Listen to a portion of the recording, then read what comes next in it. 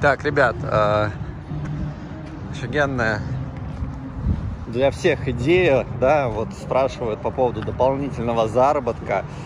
Э, организация вот таких вот прыжков. Сейчас я вам все расскажу. Ко мне вот Константин, точнее я поехал э, к Константину, он у меня заказал э, снарягу, я ему привез на объект, и я э, очень удивился, насколько здесь все интересно устроено. Сегодня у нас э, Хэллоуин в Питере, да, все будут в костюмах.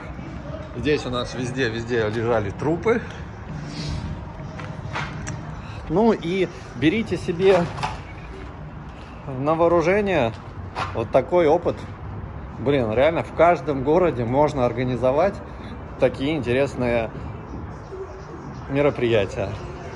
И, кстати, и полезно, и еще и зарабатываешь на этом.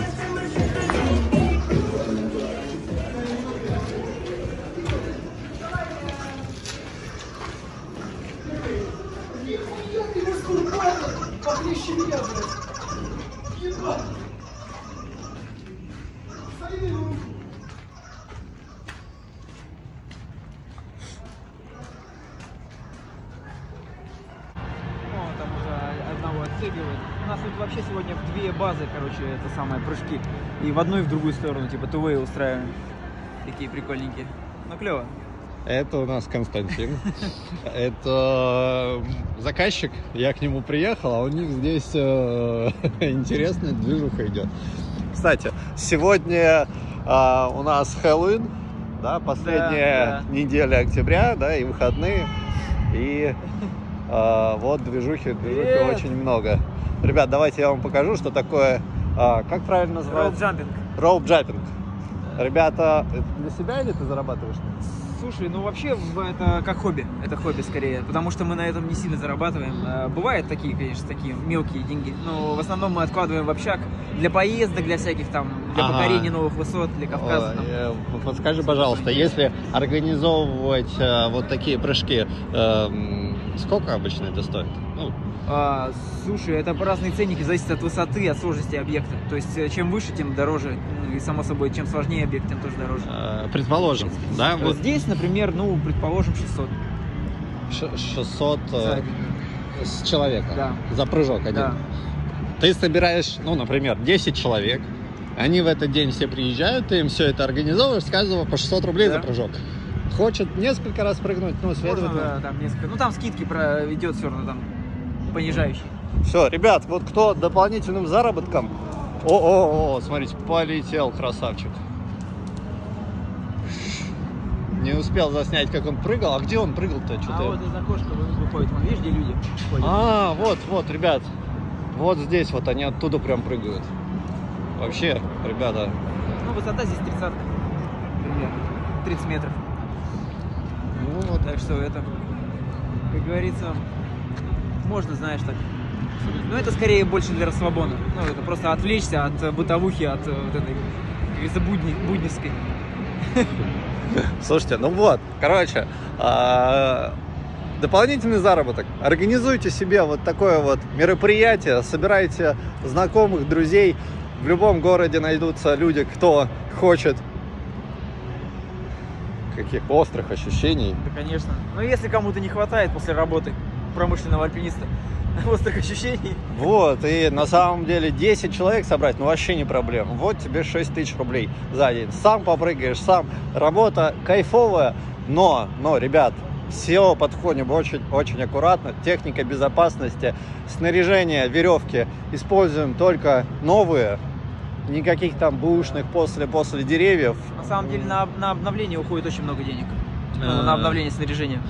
Потому что оно, ну, Ну, оно- да, да. это нагрузки большие, высокие, поэтому от этого веревки выходит из строя до- гораздо быстрее, чем просто от промышленного альпинизма. Так, и у тебя же есть корочки, ты все, ну, Да, как бы да. все это знаешь, как правильно, как что. Ну, нет, корочек роп-джампера нету, ну, корочки промышленного альпиниста. То есть, в принципе, как бы ты разбираешься, как навязывать узлы, разбираешься, как э, э, вообще в ну, каких-то таких вот движениях, то вполне организуешь.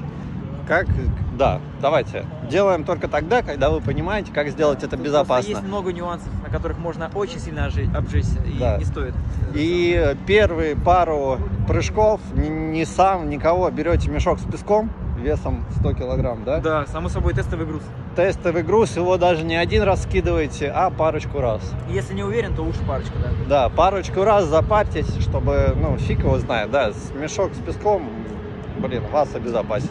А так, всех поздравляю с нашим нерусским праздником. Кельтским. Да, да. Ну так по Но фану поугарать можно. в продолжение, да, еще пару вопросов. Э, э, Очень погода, да? Влияет очень сильно погода на все это, да, конечно. Ветер, дождь, э, Это лучше, собой, да. лучше пропускать.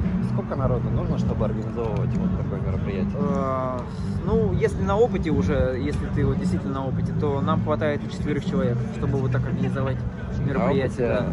А, Конечно, одному точно не потянешь. Один вот сто процентов не потянешь.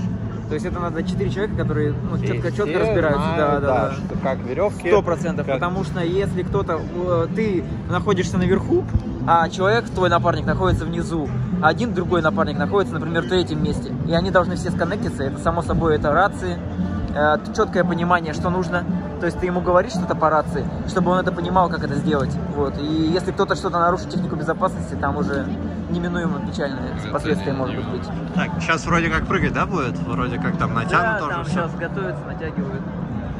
Сейчас постараемся вам показать, как это все происходит. Как и там, да, также вот здесь. Скелетон потеряла, нашла другой. Нормально, нормально. А, так, вон там ребята. Спасибо, всем пока. Ребята готовятся. Вот уже. Объявят. А, еще объявление, да, только будут тянуть здесь.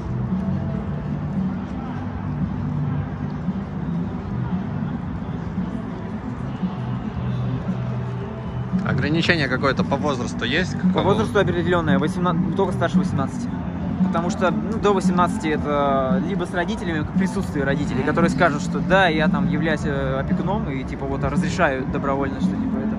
А после 18, пожалуйста, паспорт показывает, что старше. и- Так, э, натянули провис веревки. Ого, это вы каждый раз туда забираетесь, протягиваете веревки? Да. Ну, в Слушай, смысле, не каждый раз, не каждый прыжок, а один раз завязались, а Ага. потом уже дальше вытяжкой спускаем репик. вот обратите внимание, что веревки вот через э, вот как эти Там через блочки. че- через блочки, ну вот вот здесь она цепляется, потом там еще, А потом туда. Да, и вот там девушка сейчас будет у нас прыгать. Да, вот сейчас как раз э, станцию вот контролят там. Так, вот Да, это они уже вот сейчас завязывают узлы контрольные. все контрольные узлы.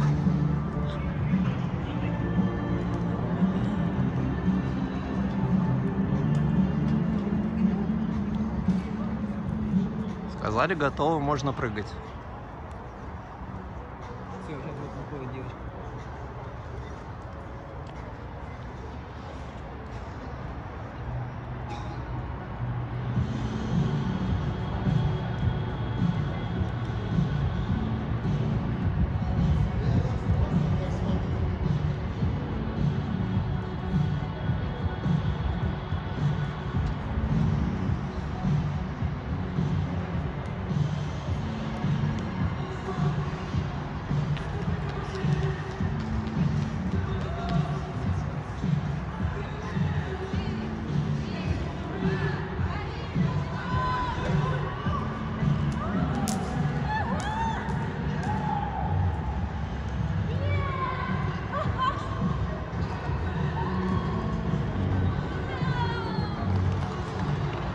Вот как-то так. Так, ребят, давайте я вам покажу, что еще, да, чтобы у вас было понимание. Еще вот здесь помимо вот такие вот... А, у вас еще все по-грамотному, да? позиционка, да, обязательно, потому что, ну, это статика, веревка, не динамика. Ага, И обе, да, и страховка, и Да. это статика. Все статика. Два рига. О, у вас, блин, сколько у вас оборудования здесь на самом деле.